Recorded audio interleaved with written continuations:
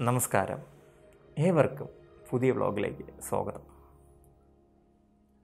ഇന്ന് നമ്മൾ ഒരു പാൻഡമിക് സിറ്റുവേഷനിലൂടെ കടന്നു പോവുകയാണ്.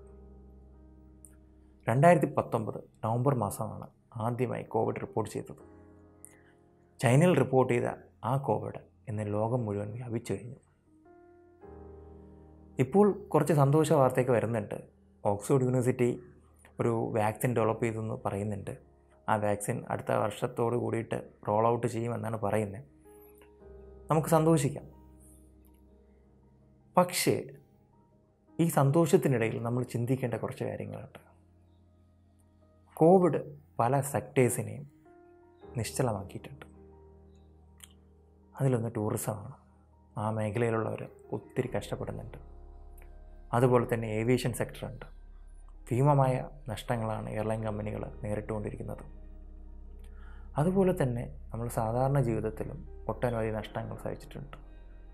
പല ആൾക്കാർക്കും ജോലി നഷ്ടപ്പെട്ടു ശമ്പളം കുറഞ്ഞു. അതുപോലെ തന്നെ അവരുടെ ദൈനംദിന ആക്ടിവിറ്റീസ് ബാധിക്കപ്പെട്ടു. ഇവരിൽ ഇവരിലൊക്കെ ഏറ്റവും കൂടുതൽ ബാധിക്കപ്പെട്ട ഒരു വിഭാഗം എന്ന് പറയുന്നത് നമ്മൾ അധികമൊന്നും ശ്രദ്ധിക്കാതെ അവർ കുട്ടികളല്ലേ എന്ന് പറഞ്ഞു പോകുന്ന ഒരു കാറ്റഗറിയാണ് ഞാൻ ആൾറെഡി പറഞ്ഞു കഴിഞ്ഞു കുട്ടികൾ. നമ്മളെല്ലാവരും ഒരു സ്വർണത്തെ പോലെയോ നിധിയെ പോലെയോ കൊണ്ട് നടക്കുന്ന നമ്മുടെ കുട്ടികൾ. നമ്മുടെ കുട്ടികളെ ഏറ്റവും കൂടുതൽ അഫക്റ്റ് ചെയ്തത് അവരുടെ ഡേ ടു ഡേ ലൈഫ് തന്നെയാണ്. അവർ മാർച്ച് മാസത്തിന് മുമ്പ് വരെ അവർ നോർമലി സ്കൂളിൽ പോകുന്നു. ദൈനംദിന കാര്യങ്ങൾ ചെയ്ത്.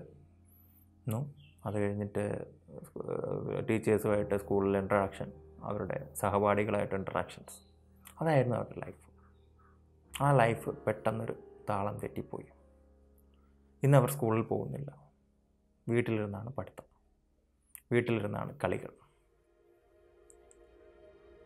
ഇത് കൊണ്ട് അവരുടെ ഒരു സൈക്കോളജിക്കലി ചിലപ്പോൾ അഫക്റ്റ് ചെയ്തിട്ടുണ്ടാകും പ്രത്യേകിച്ച് നമ്മളെ നഗരങ്ങളിൽ താമസിക്കുന്ന കുട്ടികൾക്ക്. കാരണം രാവിലെ അവരുടെ പാരൻസ് മിക്കവാറും രണ്ടുപേരും ജോലി ചെയ്യുന്നവരായിരിക്കാം. അവർക്ക് ആരും സംസാരിക്കാനോ അങ്ങനെയൊന്നും കാണത്തില്ല. മിക്കവാറും നമ്മുടെ സിറ്റി ലൈഫിലെല്ലാം അണുകുടുംബങ്ങളാണ്. ഒരു അല്ലാതെ ഒരു എക്സ്റ്റെൻഡഡ് ഫാമിലീസ് ഒന്നും അല്ല. സ്വാഭാവികമായിട്ടും അവർക്ക് എന്തെങ്കിലും കളിക്കാനുള്ള സ്ഥാനങ്ങളോ അവരുടെ ടോയ്സോ എന്തെങ്കിലും കൊടുത്തിട്ട് പാരൻസ് പോകും പിന്നെ ഇപ്പോൾ ഇച്ചിരി മുതിർന്ന കുട്ടികളോ അല്ലെങ്കിൽ ഒരു മിഡ് ഏജിലുള്ള കുട്ടികളാണെങ്കിൽ അവരുടെ അടുത്ത് പറഞ്ഞിട്ട് പോവും. ഫുഡും കാര്യങ്ങളെല്ലാം അവർക്ക് എടുത്തു വെച്ചതിന് ശേഷം അവർക്ക് ക്ലാസ് ഉണ്ടാകും ക്ലാസ് അറ്റൻഡ് ചെയ്യണമെന്ന് പറഞ്ഞിട്ട് പോവും. ഇതാണ് മിക്കവാറും നഗരങ്ങളിൽ സംഭവിക്കുന്നത്. ഇനി ഗ്രാമങ്ങളിലാണെങ്കിൽ കുറച്ചുകൂടെ ഒരു കുട്ടികൾക്കൊരു കുറച്ചുകൂടെ റിലാക്സേഷൻ വരും. കാരണം ചിലപ്പോൾ രണ്ടുപേരും വർക്കിംഗ് ആയിരിക്കത്തില്ല. അപ്പോൾ ഒരാൾക്ക് അടുത്ത് കുറച്ചെങ്കിലും ടൈം സ്പെൻഡ് ചെയ്യാനായിട്ട് പറ്റും. അതുപോലെ തന്നെ കുട്ടികളെ സംബന്ധിച്ചിടത്തോളം മറ്റൊരു പ്രധാനപ്പെട്ട വിഷയം എന്ന് പറയുന്നത് അവർക്കൊരു ഔട്ടിങ് കിട്ടുന്നില്ല.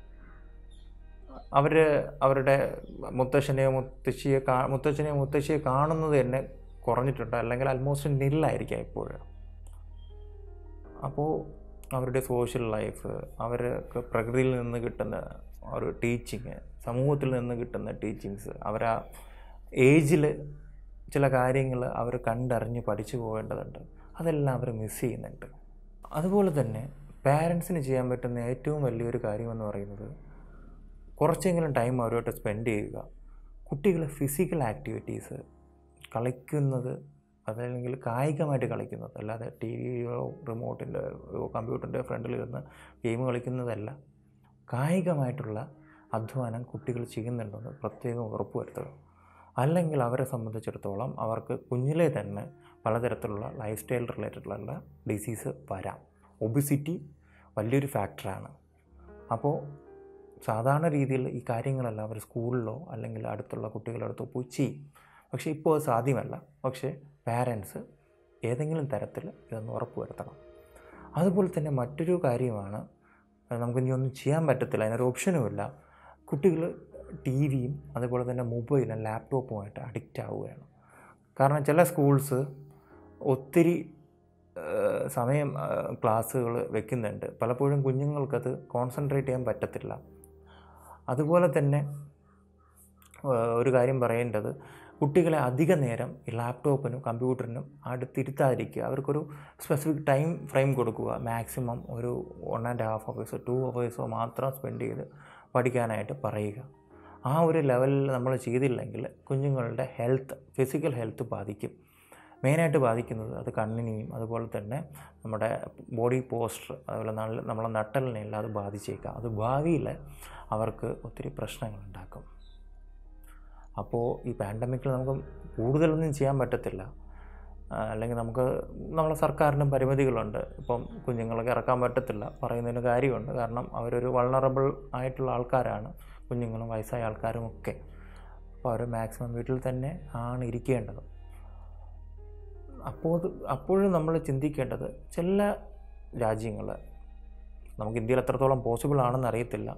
ചില സ്പെസിഫിക് ഡേയ്സ് ഈ വയോജനങ്ങൾക്കും കുട്ടികൾക്കും പുറത്തിറങ്ങാനായിട്ട് ഒരു ഡേറ്റ്സ് വെച്ചിട്ട് അല്ലെങ്കിൽ ഒരു ഇന്ന ദിവസം പുറത്തിറങ്ങാൻ പാർക്കിൽ പോകാം എന്നൊക്കെ പറഞ്ഞിട്ട് ചില രാജ്യങ്ങളൊക്കെ ചെയ്യുന്നുണ്ട്. നമുക്ക് എത്രത്തോളം പോസിബിൾ ആണെന്ന് അറിയത്തില്ല. ആ രീതിയിലുള്ള പോസിബിലിറ്റീസ് ഉണ്ടെങ്കിൽ നമുക്ക് ഏതെങ്കിലും പ്രാക്ടിക്കാലിറ്റി ആയിട്ട് ചെയ്യാവുന്നതുണ്ടെങ്കിൽ അതൊക്കെ നമുക്ക് ഫോളോ ചെയ്യുന്ന ചെയ്യാവുന്നതാണ്.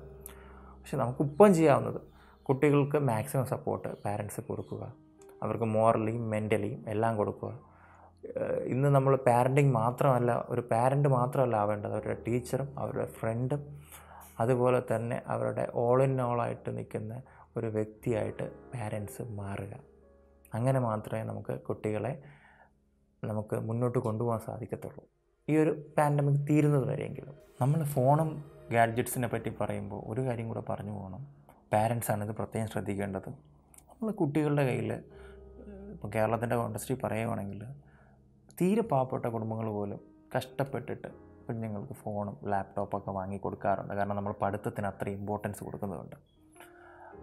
ഇപ്പോൾ അച്ഛനോ അമ്മയോ വീട്ടിൽ അവരുടെ കൂട്ടത്തിലുള്ള സ്പെൻഡ് ചെയ്യുന്ന ആൾക്കാരാണെങ്കിൽ ജോലിക്ക് പോകാതെ വീട്ടിലുള്ളവരാണെങ്കിൽ കുഞ്ഞുങ്ങൾ ഈ നമ്മുടെ ഗാഡ്ജറ്റ്സ് ഉപയോഗിക്കുമ്പോൾ പ്രത്യേകം ഒന്ന് ശ്രദ്ധിച്ചേക്കണം. കാരണം നമുക്ക് എല്ലാത്തിനും നെഗറ്റീവ് സൈഡ്സും പോസിറ്റീവ് സൈഡ്സും ഉണ്ട്. ഫോണിലും ലാപ്ടോപ്പും എല്ലാം എന്ന് പറയുന്നത് ഇന്റർനെറ്റ് ഇന്റർനെറ്റിലേക്ക് ഒരു ലോകമാണത്. ഇന്റർനെറ്റിൽ നമുക്ക് പോസിറ്റീവ് കാര്യങ്ങളുമുണ്ട് നെഗറ്റീവ് കാര്യങ്ങളുമുണ്ട് നെഗറ്റീവ് കാര്യങ്ങളിലേക്ക് കുഞ്ഞുങ്ങൾ പോയാൽ അവരുടെ ഭാവി അത് ബാധിക്കും. ഇനി നിങ്ങൾ വർക്ക് ചെയ്യുന്നവരാണെങ്കിൽ നമ്മുടെ ഫോണിലും ലാപ്ടോപ്പിലും എല്ലാം പാരന്റൽ കൺട്രോൾസ് ഉണ്ട്. അവർക്ക് ഏതൊക്കെ കാര്യങ്ങൾ ആക്സസ് ചെയ്യാമെന്ന് നമുക്കതിൽ ചെയ്യാൻ പറ്റും. ഇപ്പോഴത്തെ ലേറ്റസ്റ്റ് ആയിട്ടുള്ള എല്ലാ ഡിവൈസിലും പറ്റും. അതുമാത്രമല്ല ഇപ്പം പല ട്രാക്കിംഗ് സോഫ്റ്റ്വെയർസും അവൈലബിൾ ആണ്. അവരേതൊക്കെയാണ് എന്തൊക്കെയാണ് ചെയ്യുന്നതെന്ന് നമുക്ക് ട്രാക്ക് ചെയ്യാനും പറ്റും. അപ്പോൾ ആ സാങ്കേതികളുടെ നൂതനമായിട്ടുള്ള കാര്യങ്ങളെല്ലാം നമ്മൾ യൂസ് ചെയ്യുക. കാരണം കുട്ടികൾക്ക് നമ്മൾ ഇത് വാങ്ങിച്ചു കൊടുത്തതോടുകൂടിയിട്ട് നമുക്ക് നമ്മളുടെ ഡ്യൂട്ടി തീരുന്നില്ല. കാരണം ചില കാര്യങ്ങൾ നമ്മൾ മനസ്സിലാക്കേണ്ടതിന് ഏജ് ഉണ്ട്.